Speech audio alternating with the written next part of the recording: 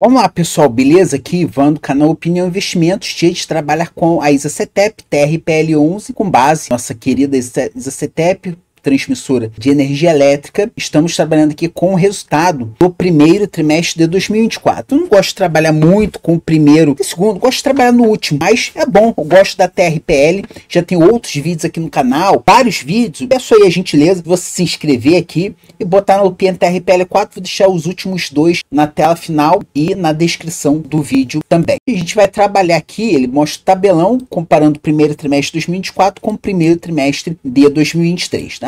Não tem outro, não achei pelo menos a tabela comparando com o quarto TRI de 2023, mas não tem problema, olhando que receita líquida, aspectos positivos e negativos aqui a receita líquida aumentando, tá? Essa parte aqui de despesas, né? PM, essas são despesas gerais de manutenção, serviço, tanto a gerenciável quanto que, que aquela a empresa pode controlar. Teve aqui um aumento que é, seria um pouquinho negativo, mas não tem problema, só acontece só o primeiro trimestre. A gente sempre tem que olhar o ano, mas a gente olha depois outros indicadores. EBITDA aumentando, lucro líquido comparando com, né, que aí tem muita questão de sazonalidade a questão da, da TRPL, né? Por isso que dá tranquilo para a gente comparar ano a ano. Se tivesse comparação com o quarto TRI aqui, seria melhor. Mas aumentou o lucro líquido, aumentou o ROI também, que é a rentabilidade da empresa, e a dívida líquida tá, aumentou, a gente vai ver que a dívida líquida sobre EBITDA está tendo aumento aí, mas é porque está investindo, não adianta, você tem, tem que ter paciência, você resolver investir, por exemplo, uma transmissora de energia, a, Taesa também está investindo muito, a dívida também aumenta, isso significa, pode significar menos, se a dívida ficar aumentando muito, significa menos dividendos lá na frente, que o grande atrativo das transmissoras é o dividendo,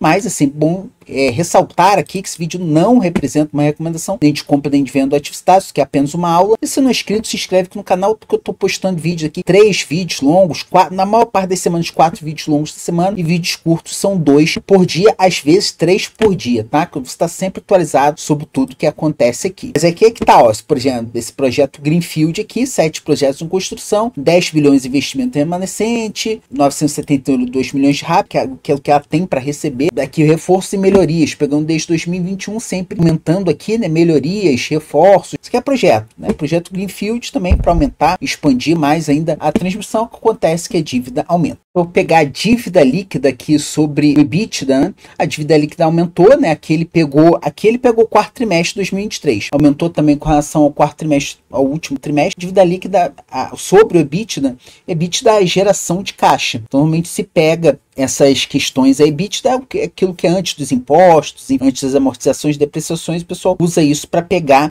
como é que eu vou dizer, ele pega pegar nível de alavancagem, digamos assim, dívida líquida sobre EBITDA. Quanto maior o EBITDA, me menor no caso, essa quantidade de vezes aqui. Então deu uma diminuídazinha, mas está aumentando a dívida ali. Amortização, claro que se nos próximos trimestres o EBITDA também for aumentando, o ideal é que o EBITDA sempre aumente mais, né? Aumente mais em porcentagem do que a dívida para a coisa se manter controlada. Amortização da dívida, 2024, 2025, beleza. O problema é tá mais amortização, acho bastante tranquila aqui. Interessante a gente olhar que a análise fundamentalista básica, como preço sobre lucro, PVP, preço. Se a gente for olhar a cotação dos últimos cinco anos, cotação ajustada estados, coloca aqui é por desdobramentos, grupamentos, bonificações, dividendos, claro, bonificações aqui, grupamentos, aqui são que também bota proventos, dividendos também, emissões que vem a fazer. Então, olhar no longo para pelo menos os últimos cinco anos, tá tudo ok. A, agora a gente vai para o preço sobre lucro 6,32, pode, se você for olhar no status invest, alguma coisa assim, pode estar um pouco diferente. Não sei se aqui no Investidor 10 está atualizado. A gente não está reclamando, porque o site é gratuito, mas a gente pode ver que ele está abaixo aqui da média. Tudo bem que 2014, 2015, 2016 dá uma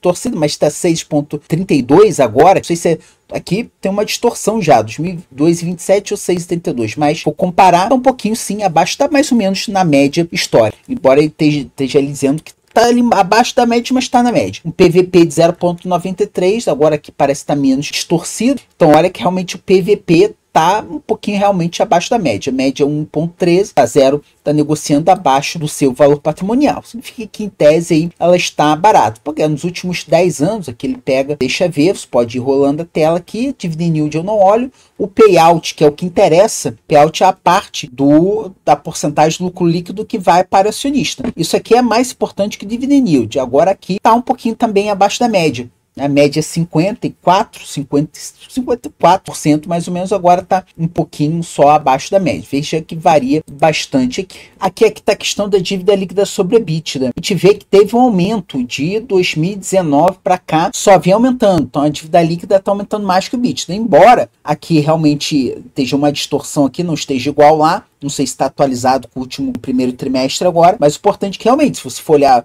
as análises aí de outros analistas, matérias da Infomana e Times, todo mundo diz que a dívida líquida por EBITDA está aumentando. Então, é um ponto de atenção. Beleza, pessoal? Em relação aos dividendos, parece que a fonte secou um pouquinho. 2021 pagou bastante, 2022 pagou uma vez só, 2023 pagou uma vez só, agora 2024 já pagou desde 10 do 4 e 15 de janeiro que já foi pago. Não tem nenhum provisionado mais para frente. Então, está investindo, investir em ações, a, a, empresa está investindo nela mesma, você investindo você mesmo também é a longo prazo. Não é diferente uma empresa investir nela mesma do que você investir em você mesmo. Então, você já está vendo aqui na tela final os últimos dois vídeos que eu fiz do TRPL 11. Obrigado por você ter ficado até aqui. Clica no próximo vídeo